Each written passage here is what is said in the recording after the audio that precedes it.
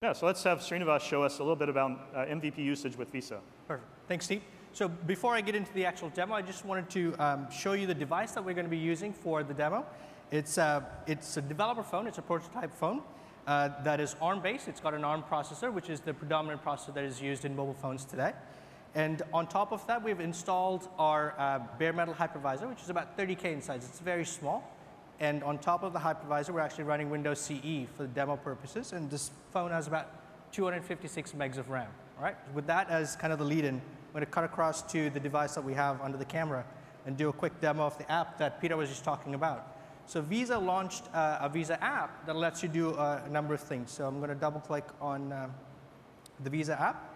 And as Peter said, there's three things that it does. Alerts, offers, and uh, location. So let me walk through each of those.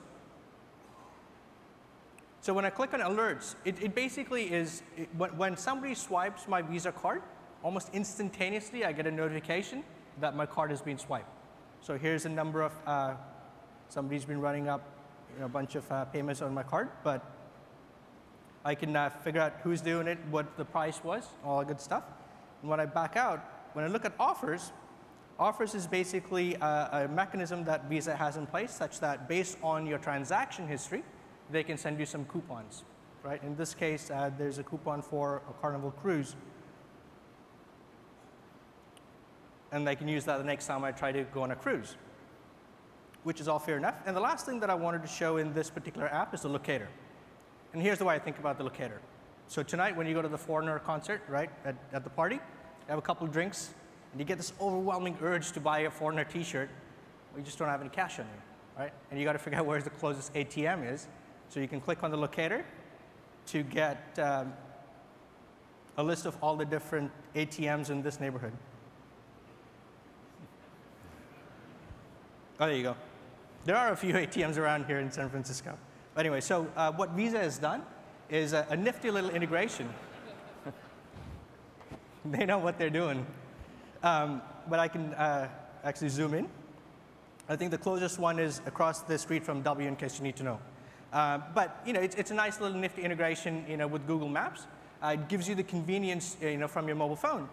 But you know, you're probably thinking right about now, you know, you're saying, listen, mate, this, this app is really good. It's probably something that I want on my phone.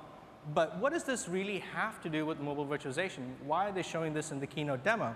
So let me tell you why.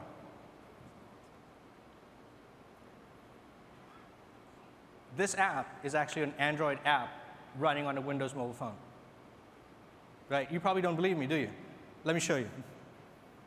When I, cut, when I back out, here's Android running on a Windows phone at the same time. So I've got two operating systems running at the same time on the same device.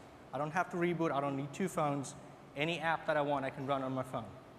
And I can run global time. It's just straight up Android.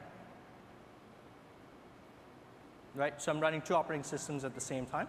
And so the two uh, takeaways are that one, when you actually package up your application in a device-independent virtual machine, you can actually deploy that application on any device. And that addresses the complexity issue that you're talking about. Right?